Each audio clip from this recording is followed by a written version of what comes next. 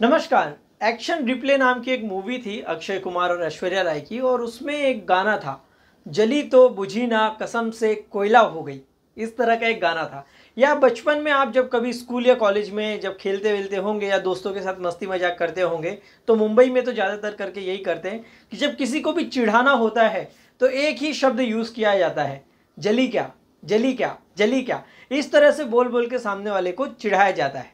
पर मज़ाक मस्ती अपनी तरह, आज हम एक ऐसी बीमारी के बारे में बात कर रहे हैं, जिसमें सच में बहुत ख़राब तरह से जलती है और जलने के बाद जिसे ये तकलीफ़ होती है, वो बेचारा पानी या दवाई ले लेके परेशान हो जाता है, जिसका नाम है अधोगत अम्लपित्त। अधोगत अम्लपित्त या फिर पेट साफ़ होने के बाद जो मल मार्ग है, वहाँ पे एकदम जलन होना, मिर्ची जैसा, आग जैसे एकदम लगना तो उस बीमारी पे वो बीमारी क्यों होती है, उसके लक्षण क्या क्या हैं और उसके लिए आप क्या इलाज कर सकते हैं? आयुर्वेद में क्या क्या डिटेल बोली है? पूरी की पूरी जानकारी आज इस वीडियो में। नमस्कार, स्वागत है आप सभी का ओज आयुर्वेद में, जहाँ हम बात करते हैं शुद्ध आयुर्वेद के बारे में, जो कि आयुर्वेद की संहिताओं में लिखी है। तो भाई, जो संहिताओं में सही लिखा है, वो जानकारी हम आप तक लाकर देते हैं। तो चलिए, उसी में से आज एक टॉपिक के बारे में बात कर रहे हैं, जिसका नाम है पिछवाड़े में जलन होना, पिछवाड़ा बोलो या फिर आम अगर अच्छे से शुद्ध शब्दों में कहा जाए तो अधोगत अम्ल पित्त के बारे में बात कर रहे हैं। या फिर और अच्छे से समझना हो तो भाई पीछे जो एसिडिटी होती है, जो मल मार्ग की, नीचे की एसिडिटी होती है, उसमें, उसके बारे में बात कर रहे हैं। होता क्या है? आप में से बहुत सारे लोगों ने ये अनुभव किया होगा कि जब कभी पेट साफ़ होता है पेट साफ़ होने के बाद अचानक से वो जो मल मार का एरिया है, वहाँ पे बहुत जलन जैसे लगता है। एकदम आग जैसे होने लगता है बर्निंग सेंसेशन आता है और ऐसे लगता है किसी ने मिर्ची लगा दी हो या कुछ वहाँ पे कट वट गया हो। और कई बार वहाँ पर पानी डालना पड़ता है, कुछ लोगों को शायद ऐसे करके आवाज़ भी आती हो। तो अब ये जो यहाँ पे जलन होती है या मल मार्ग में जलन होती है, वो क्यों होती है? तो कई बार लोग इसको कंफ्यूज रहते हैं कि कहीं हमको पाइल्स तो नहीं हो गया है भगंदर तो नहीं हो गया है, अर्स मशा ये जो अलग अलग नाम बोलते हैं, वो तो नहीं हो गई है। पर जब वो डॉक्टर को चेक कराते हैं, या कई बार जो उनकी रिपोर्ट भी की जाती है तो वो देखने के बाद पता चलता है कि भाई यहाँ पे तो ऐसा कुछ नहीं है।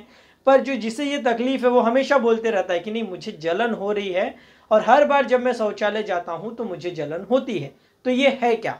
तो आयुर्वेद के शब्दों में ये अम्ल पित्त है। अम्ल पित्त या आम बोलचाल की भाषा में बोले तो एसिडिटी है, एसिडिटी, ठीक है? ए सी डी टी ऐसे करके कई सारे लोग उसको स्पेलिंग में भी लिखते हैं। तो भाई ये एसिडिटी है A C I D I T Y ठीक है? एसिडिटी।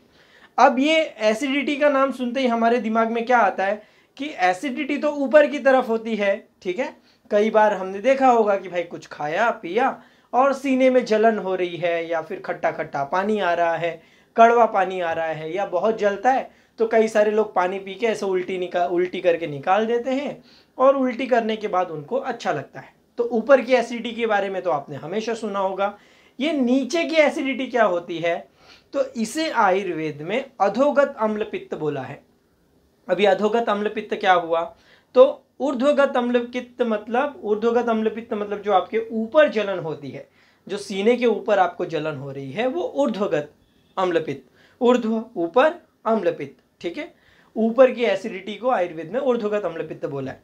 जब ये एसिड या यही जो आपका एसिड है या जो आपका खाना है, वो पचता नहीं, पचने ना, ठीक से ना पचने के कारण वो सड़ता है और सड़ सड़ के जब ये और कई गुना ज़्यादा इसकी जो सड़न है या फिर जो एसिड है, ये एसिड जब बहुत ज़्यादा बढ़ के आपके नीचे की तरफ़ जाते हुए, फिर डिओडिनम इंटेस्टाइन लार्ज इंटेस्टाइन ये सब जगह घूम घाम के जब मल मार्ग से वो निकलता है तो उस जगह पे वो जलन करने का काम करता है। इसे ही आयुर्वेद में अधोगत अम्ल पित्त बोला है। या हम इसे ऐसे बोल सकते हैं कि ये नीचे की एसिडिटी है और ज़्यादातर लोगों को ये तकलीफ़ होती है। क्यों होती है? तो सिंपल सी बात है, जो भी चीज़ें, जो पित्त को बिगाड़ने का काम करती हैं, वो सारी की सारी ये काम करेगी। तो जैसे जो लोग को बहुत खट्टा खाने की आदत है, उनके साथ ये होता है। खट्टे से भी ज़्यादा कई लोगों को नमक ज़्यादा खाने में इंटरेस्ट होता है। खाने के ऊपर एक्स्ट्रा नमक डाल के लेना, या फिर पानी पूरी उरी वाले के यहाँ पे जाते हैं तो थोड़ा ज़्यादा उसमें नमक या थोड़ी सा मिर्ची, थोड़ा तीखा तड़का लगा कर देना, क्योंकि जब तक जीभ और बाकी सब जगह जलेगी नहीं, तब तक मज़ा नहीं आता। तो ये ऐसे बहुत ज़्यादा तीखा, खट्टा, नमक ऐसी चीज़ें खा के, या एक और तरह, एक और कारण है ये ना होने का कई सारे लोगों के साथ ऐसा होता है कि बहुत ज़्यादा पानी पीने की आदत होती है। अब पानी कई बार मैंने इसके ऊपर बहुत सारे वीडियोस डाले हैं, मैंने समझा समझा के शायद हो सकता है कि मेरा बुढ़ापा पूरा हो जाए इसी में। फिर भी आज भी ऐसे कई लोग हैं या जो मुझे पेशेंट्स मिलते हैं, उसमें से 90 परसेंट से ज़्यादा पेशेंट ऐसे हैं जो ज़बरदस्ती पानी पी पी के बीमार हैं। प्यास नहीं है, फिर भी सुबह उठ के आधा लीटर, एक लीटर या सुबह उठकर क्या बोलते हैं कि पूरा नारियल पानी का, पूरा 600 सौ एम एल सात नारियल पानी पीना। ये एक्स्ट्रा पानी पी पी के क्या होता है? उनको लगता है कि हम पानी पियेंगे तो पेट का एसिड है, वो चला जाएगा। पेट में जो एसिड है, वो किस लिए है? पेट का एसिड खाना हजम करने के लिए है। एक्स्ट्रा जो पानी है, वो पी पी के उस एसिड को डाइल्यूट कर देता है। तो क्या होता है? एसिड की क्वांटिटी तो बढ़ गई रहती है, पर क्वालिटी कम हो जाती है। या आप सभी ने जो साइंस पढ़ा होगा आठवीं, दसवीं, बारहवीं में तो उसमें दो तरह के एसिड पड़े होंगे, एक कॉन्सेंट्रेटेड एक डाइल्यूटेड अब ये जो डाइल्यूटेड जो एसिड होता है, वो भी एसिड होता है, पर उसमें उतनी ताकत नहीं होती. और ये जो कॉन्सेंट्रेटेड होता है, ये क्या होता है? थोड़ा से भी जला सकता है. तो जब ज़्यादा पानी पी पी के या कोई भी पित्त बढ़ाने वाली चीज़ें कर, करके, ज़्यादा चाय, कॉफ़ी, वॉफ़ी, ये सब ऐसे लेके या तेल वेल वाला ज़्यादा खा के, जब ये एसिड नीचे की तरफ़ जाता है तो वहाँ पे जलन करता है। इसे आयुर्वेद में अधोगत अम्ल पित्त कहते हैं। क्लियर चलो तो पिछवाड़े में जलन को हम क्या कह सकते हैं? पीछे की एसिडिटी या अधोगत अम्ल पित्त अब, आपको जब अधोगत अम्ल पित्त होगा तो इसके साथ और क्या क्या लक्षण होंगे, वो भी आयुर्वेद में बोले हैं। तो एक तो पीछे बहुत ज़्यादा जब पेट साफ़ होगा, जलन होगा। उसके अलावा और क्या लक्षण आपको देखने मिल सकते हैं, जिससे कि आप समझ सकते हैं कि आपको अधोगत अम्लपित्त की तकलीफ़ है? तो जलन के साथ साथ ऐसा होगा कि आपको बहुत ज़्यादा प्यास लगने का सेंसेशन होगा। बार बार मुँह सूखने का सेंसेशन आपके शरीर में होगा। ये हो सकता है। या कई सारे लोग के साथ ऐसा होगा कि बहुत ज़्यादा जलन होता है और जब मल निकलता है तो मल निकलते समय कई बार इतना ज़्यादा जलन जैसे लगता है कि आँखों के सामने चक्कर आने जैसे लगता है या पूरा काला काला दिखने लग जाता है। इस तरह की तकलीफ़ें होंगी। कई सारे लोगों को जब मल होगा तो वो मल का जो कलर है, या तो वो एकदम पीला कलर का या एकदम काले कलर का मल होगा, या तांबे का जो कलर होता है, उस तरीके का या हरे हरे कलर का जो मल है, वो निकलेगा। उसमें से बहुत ज़्यादा दुर्गंध आने की तकलीफ़ भी हो सकती है, जलन होने के साथ साथ और जब ये लंबे समय तक कंटिन्यू चालू रहेगा तो धीरे धीरे जब ये एसिड ब्लड में जाना चालू होता है तो कई सारे लोगों को कोट की तकलीफ़, शरीर में जो चकत्ते हैं वो चकत्ते होने लगना या बहुत ज़्यादा खुजली होने की समस्या, ये चीज़ें तकलीफ़ चालू हो जाना। तो ऐसी बहुत सारी और भी समस्याएँ आपको इसके साथ देखने मिल सकती है।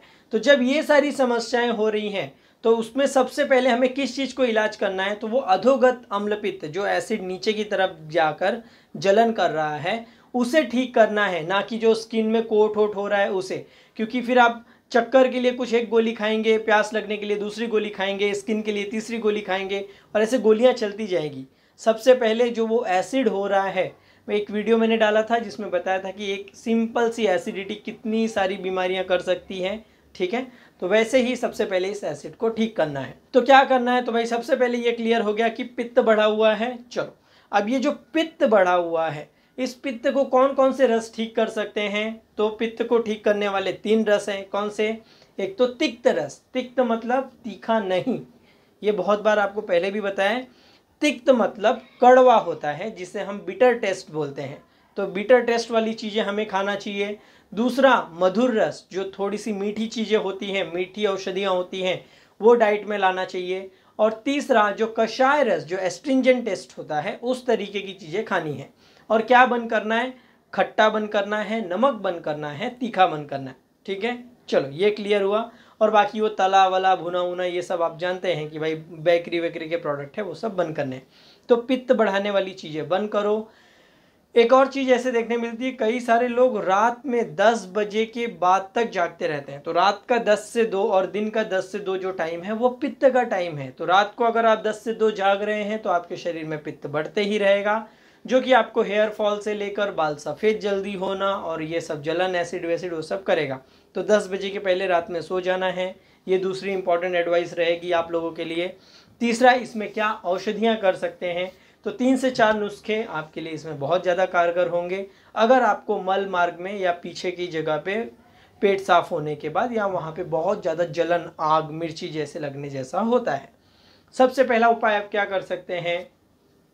आपने कुष्मांड का नाम सुना होगा। कुष्मांड जिसे कि ऐश गार्ड भी कहा जाता है। बाहर से हरा होता है, अंदर से सफ़ेद होता है। कई लोग उसको कोहड़ा, कद्दू कुछ भी कहते हैं। तो चाहे आपको पम्पकिन मिल जाए ऐश गार्ड मिल जाए, कुछ भी मिल जाए, सबसे अच्छा तो रहेगा वो जो बाहर से हरा वाला और अंदर से वाइट कलर का होता है, जिसका पेठा बनाया जाता है, वो वाला, ठीक है? इसका आप जूस पी सकते हैं। जी हाँ पेठे का रस। पेठे का उसका नाम ही क्या है? कुष्मांड। कु उष्म, जो उष्मा को पूरा दबा देता है, ख़त्म कर देता है। तो ये वाला रस इसका ले सकते हैं। कैसे ले सकते हैं? तो 100 एम इसका जो रस है, वो जो गुड़ होता है 10 ग्राम के आसपास गुड़ मिलाकर वो ले सकते हैं। या इसी जो पेठा है, इसका पाउडर भी मिलता है। तो आधे से एक चम्मच की जो पाउडर है, गुड़ के साथ, खाना खाने के पहले, सुबह और शाम, दो टाइम ये ले सकते हैं। पहला ये ऑप्शन कर लो। अगर ये वाला ऑप्शन अच्छा नहीं लग रहा है तो फिर एक और ऑप्शन कर सकते हो। वो क्या है? उसमें आपको यूज़ करना है हरड़। हरड़ क्यों यूज़ करना है? तो हरड़ जो है, वो एक ऐसी औषधि है जो कि कषाय रस डोमिनेंट है, ठीक है? कषाय रस या स्ट्रिंजेंट टेस्ट कैसे बनता है? अब तो इतना आप लोग सीख ही गए होंगे आयुर्वेद। बताइए किससे बनता है पाँच महाभूतों में से? एक, दो, तीन। दो एलिमेंट से। कौन से एलिमेंट से? पहला अर्थ एलिमेंट और दूसरा, वायु एलिमेंट तो मिट्टी और हवा, ये दोनों मिलके बॉडी में क्या बनता है? कषाय रस बनता है। ये कषाय रस क्या करता है? स्तंभ करता है, रोकने का काम करता है। उन सारे वीडियोस में आपको बताया था, ठीक है? तो अब ये जो यहाँ पे जलन हो रही है एक्स्ट्रा पित्त के कारण, इस पित्त का पाचन करके इसको रोकने का काम है, ठीक है? आग है तो मिट्टी डाल दो तो आग शांत हो जाएगी सिंपल सा। तो हरड़ ले लो वन फोर चम्मच, उसके अंदर एक चीज़ और ऐड कर दो, क्या? मीठा हमको चाहिए था तो इसमें द्राक्षा ऐड कर दो, जिसको कि काला वाला मुनक्का या ब्लैक रेजिन बोलते हैं। तो हरड़ ले लिया वन फोर चम्मच, दस से पंद्रह मुनक्का ले लिया काला वाला, ठीक है? इसमें आधा चम्मच शहद और आधा चम्मच मिश्री। शहद का नेचर क्या है? कफ पित्त नाशक और शीत है, ठंडा है शहद। मिश्री क्या है? वो भी पित्त को कम करती है, ठंडी है नेचर में, ठीक है? द्राक्षा क्या है? मधुर है, ठंडी है नेचर में। तो एक दवा, जो हरड़, वो थोड़ी सी गर्म है, बाकी तीन ठंडी दवाइयाँ, और परफेक्ट कॉम्बिनेशन हो गया है। हरड़ के अंदर नमक को छोड़ के बाकी सभी रस हैं। तो एक मस्त बैलेंस कॉम्बिनेशन है इस अधोगत अम्ल पित्त को कंट्रोल करने के लिए काउंटर करने के लिए। तो वन फोर चम्मच हरड़ आठ दस मुनक्का, थोड़ी सी शहद, थोड़ा सा मिश्री आधा आधा चम्मच, मिला के मस्त उसको एकदम पेस्ट जैसा बनाओ। और खाना खाने के पहले उसको चाट चाट के उसको खा लो या डायरेक्ट पानी के साथ थोड़े से ले लो। सुबह शाम दो टाइम खाने के पहले ये ले सकते हो। तो या तो वो कर लो या ये कर लो। इसके बाद तीसरा ऑप्शन अगर ये भी अच्छा नहीं लगता है तो क्या करें? अब सबसे आसान वाला नुस्खा बोलता हूँ, अगर इस पर भी किसी ने बोला कि ये महँगा है या ये है तो तो क्या कुछ नहीं कर सकते। सबसे पहली चीज़ आपको क्या करना है? आंवला लेना है, ठीक है? आंवला क्या है नेचर में? आंवला रुक्ष है, शीत है, ठीक है? रूखा है और ठंडा है नेचर में। सबसे ज़्यादा किस पे जाकर अच्छा ये इम्पैक्ट करता है? तो तीनों दोषों पे इसका एक्शन है, पर पित्त पे बहुत अच्छा एक्शन है।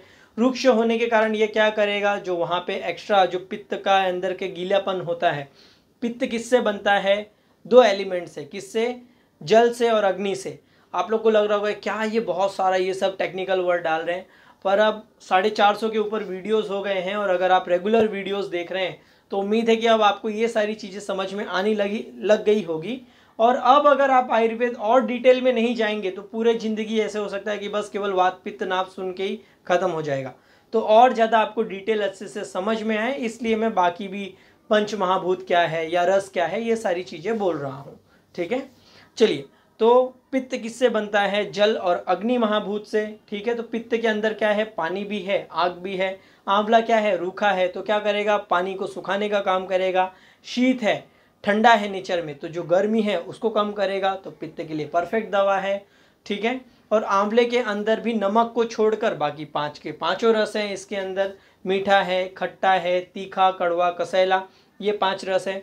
तो आधा चम्मच आंवला, आधा चम्मच मिश्री, जैसे कि पहले ही बोला, मिश्री ठंडी है नेचर में तो आधा चम्मच आंवला, आधा चम्मच मिश्री, उसको भाई बारीक पाउडर कर लो। नहीं है तो आंवले का जूस ले लो, चार चम्मच के आसपास बीस एम और उसमें थोड़ी मिश्री मिलाकर खाना खाने के पहले ये आप ले सकते हो सुबह शाम। खाना खाने के कितनी देर पहले? तो पाँच से दस मिनट पहले लेकर फिर इसके ऊपर थोड़ा सा पानी चाहिए तो पी सकते हो और खाना खाने बैठ सकते हो। तो ये जो तीन चार उपाय है, अगर आप ये करते हैं, ये सारे उपाय करने के बाद भी समझो कि आपको फिर भी आराम नहीं मिल रहा। तो भाई सिंपल सी बात है, तब आपको पंचकर्म की ज़रूरत है। मतलब बीमारी इस लेवल तक बढ़ गई है कि उसको दबाया नहीं जा सकता। तो बॉडी में शोधन करना चाहिए। वैसे तो आयुर्वेद में पहले शोधन और बाद में ये सब दवा बोली है। पर कई सारे लोगों को पंचकर्म चिकित्सा बहुत महँगी लगती है या इजिली अवेलेबल नहीं हो पाती। तो अगर आपको ये दो तीन महीने करने के बाद भी आराम ना मिले तो फिर आपको जो नज़दीकी आयुर्वेद हॉस्पिटल या गवर्नमेंट का जो भी हॉस्पिटल होगा, चैरिटेबल संस्था या कोई आयुर्वेद का क्लिनिक होगा, वहाँ जाकर आपको वमन विरेचन नाम के जो ट्रीटमेंट है, पंचकर्म के, वो करने चाहिए। तो ये था आज अधोगत अम्ल पित्त के बारे में, जिसे कि हम बोल सकते हैं पिछवाड़े में जलन होना या पिछवाड़े में आग जैसे होना, जिसे नॉर्मल लोगों को चिढ़ाने के लिए बोलते हैं, जली क्या? ठीक है? तो उस गाने के साथ जली तो बुझी ना, कसम से कोयला हो गई। इस टॉपिक को ख़त्म करते हैं। इसके अलावा आप कौन से टॉपिक पे वीडियोस देखना चाहते हैं कमेंट करके ज़रूर बताएँ। आपके कमेंट के आधार पे उस तरह के वीडियोस हम लाने की कोशिश करेंगे। इसमें से क्या समझ में नहीं आया, वो भी आप कमेंट करके पूछ सकते हैं। क्या अच्छा लगा, क्या नहीं लगा? कुछ भी करके मतलब कमेंट ज़रूर कर सकते हैं। ठीक है? तब तक के लिए स्वस्थ रहें मस्त रहें।